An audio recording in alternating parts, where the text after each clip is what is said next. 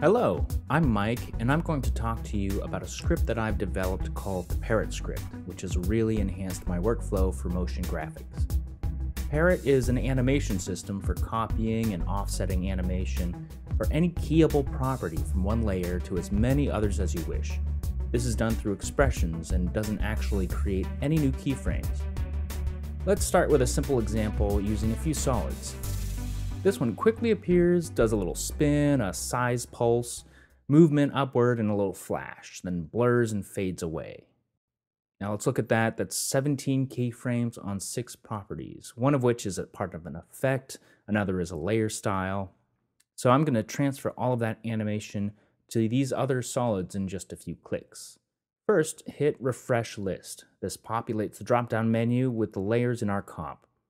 Select our conveniently named Motion Master, then click Parrot. You'll see that all of my other solids now have the same motion and have the same effects applied as the Motion Master. I can still move them around, resize or rotate them, and manually adjust anything in the transform property group, but they still retain the animation that has been transferred. By looking at one of these solids, you'll see that while no new keyframes were created, an expression has been written on every animated property. This expression corresponds to the same property of the motion master. By moving the layer marker around, you can offset the start time of the animation. By changing the animation of the source layer, the others update dynamically. Now, you'll notice that the outer glow layer style of these solids uh, is not the same color as the source. And that's because the color property of the source was not keyed. Parrot will only apply to properties that have animation on them. That is, unless you have Parrot all modified keyable props selected for effects or layer styles, whichever the case may be. That will parrot all keyable properties that have been modified. If you decide later that you'd like to animate another property on your source, like a layer mask, don't worry. Just do it and re-parrot the layers. Your expressions will remain unchanged and Parrot will add the proper effects, masks, or other layer styles to the target, along with the appropriate expressions. Now let's clear out these expressions by selecting those layers again and clicking Unparrot. You'll see that these layers no longer have any expressions and that they aren't moving as we scrub around. I'll remove these markers using the marker management tools. I'll just put in the name of the marker that I want to remove, select the layers, and hit remove named markers. Now I'll do the parroting again with an offset of 0.5. Now you'll see that the markers are offset to a small degree. This works well for subframe offsets like, you know, the motion graphics city Anyhow, you'll want to keep in mind that the order in which you select your layers plays a role in how the offset is applied. This is a good place to use those marker management tools so you don't have to nudge every individual marker around by hand. When you delete your markers, the parrot expression essentially becomes dormant until a new marker is added. The parrot script lets you store multiple actions on your source layer. I'm going to make the solid shoot toward camera at 3 seconds.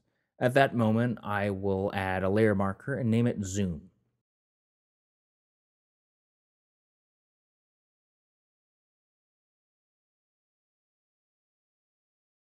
As I scrub through the timeline, you'll know that the target layers don't animate the zoom anymore. For now, the marker here is acting as a stopper.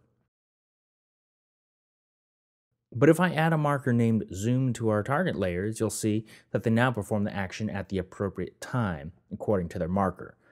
This is really handy if you have a lot of similar elements that you want to leave the stage in the different order in which they appeared. I've got another goodie for you. Look at your master layer. There should be two new effects there. Parrot Dynamic Time Offset and Offset Amount. They don't do anything by default, but when you click this box, Parrot disregards your markers and just offsets the animation of your other layers in the order in which they were originally selected. What's nice is you can slide it around and see your offset in real time, or even animate the offset. Or you can keyframe the checkbox to toggle between dynamic offsets and the manual marker-based ones. If you know you're not going to use it, you can just delete those guys. You won't break anything. For you expression aficionados out there, one advanced feature that you can use is using the my offset variable. on the first line of the parrot expression. For any numerical based property, you can input an offset by adjusting the variable, like I'm doing with this stroke property. Or you can tie the variable to an expression slider or any other animated property in your project.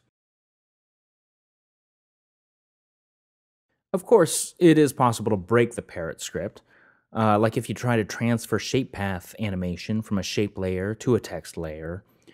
And similarly, if you try to parrot text animators,